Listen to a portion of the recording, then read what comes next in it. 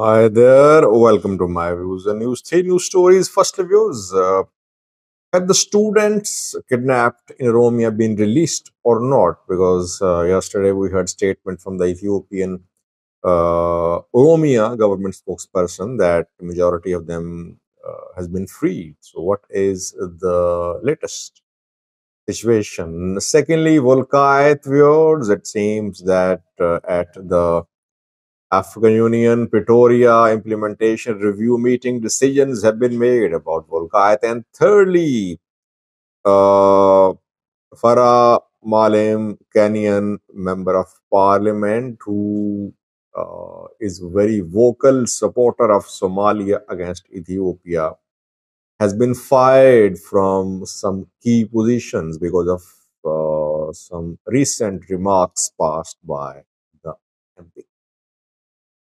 Firstly, viewers, uh, students, uh, around 167 students of Debark University were kidnapped near Gebre Guracha town in North Shewa zone of the Oromia region around a week ago.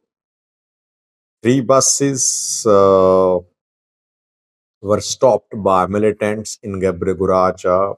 Uh, two uh, could not escape. One managed to escape, and uh, the students were kidnapped. Some managed to escape, but most of the students they were kidnapped by an armed group.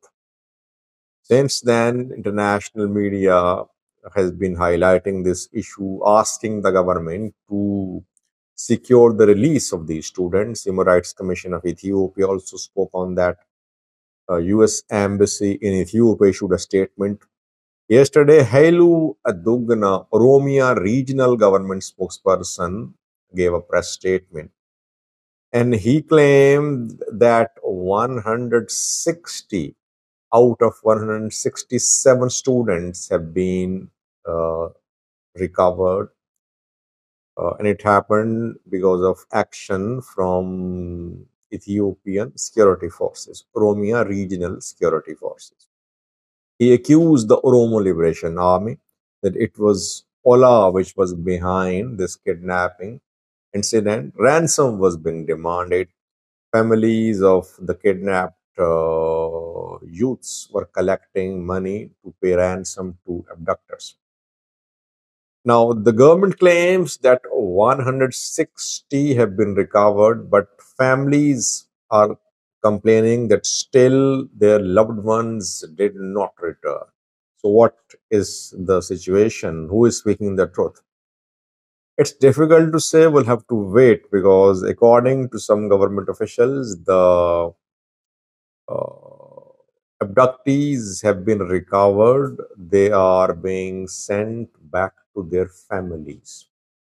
But uh, how long will it take for these abductees to join their families?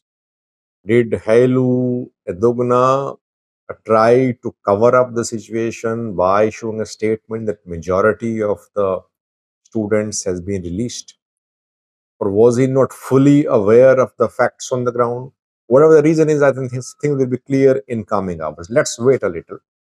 Obviously, if uh, students are recovered from the grip of an armed group, uh, it takes time to make them join their families. Uh, so maybe they're being kept at an ENDF camp and they're being uh, gradually uh, sent back.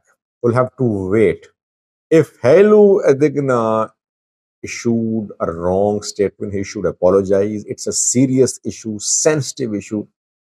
Families are concerned. They are raising money on their own as uh, to pay as ransom. They don't want their children to be killed uh, because of wrong statement.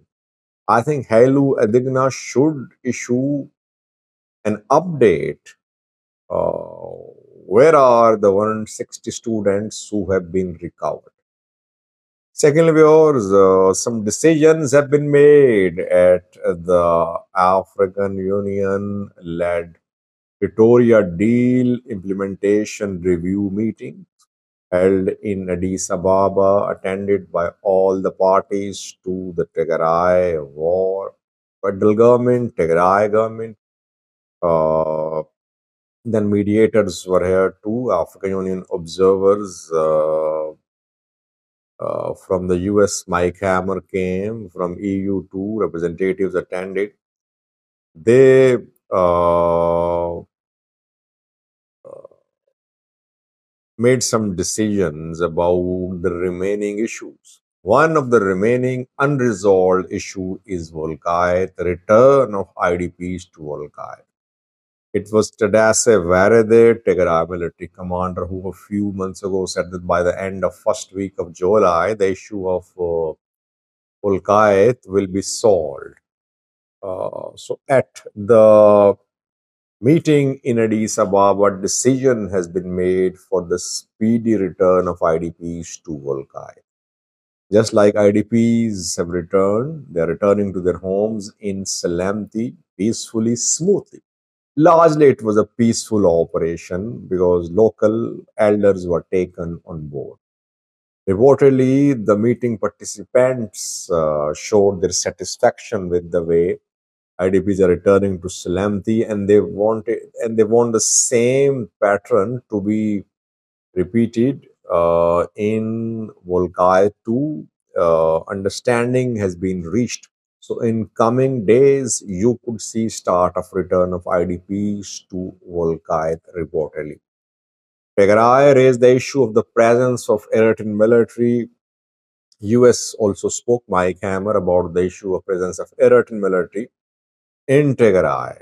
Eritrea denies it says its military is not in Tigray. Its military is deployed on Eritrean sovereign land and that the Ethiopia Eritrea Boundary Commission decision of 2002 has been implemented. Eritrea is not in occupation of even an inch of any country's territory. But this issue was raised. Let's see.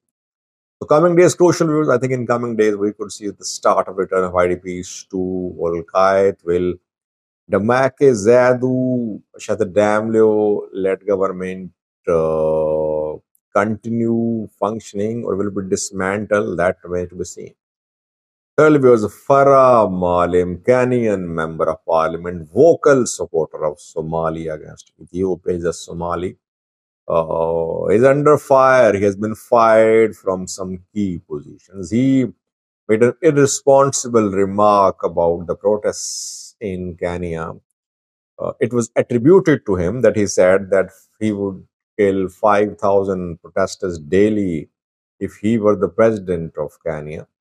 Uh, he uh, denied uh, Having said that, he said that his statement was edited. The video attributed to him was edited. But his party has taken action. It seems that he said all that. That is why party has taken action.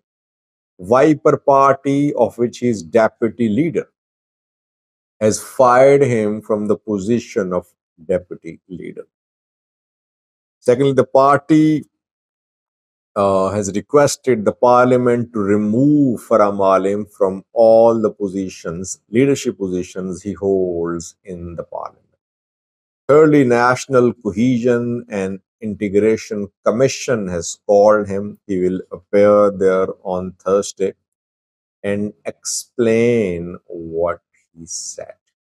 The man is in trouble. Uh, let's hope can he manage to retain his position as a member of parliament uh, but he needs to watch what he says. Sometimes he takes very strong positions, especially in, during uh, the ongoing Ethiopia Somalia tension. Too, he called. He, he tried to uh, fuel the tension. He asked uh, Somali regional presidents to rise. He said Somalis from Kenya will come to fight. As a member of parliament, you have every right to express your opinion, but you need to be careful. You need to be diplomatic. I think uh, choice of words matters a lot. No one uh, wants to stop Farah Maalim from giving his opinion about Ethiopia, Somalia, but he needs to be careful in terms of use of words. And perhaps that is why he's suffering because his choice of words has been very irresponsible.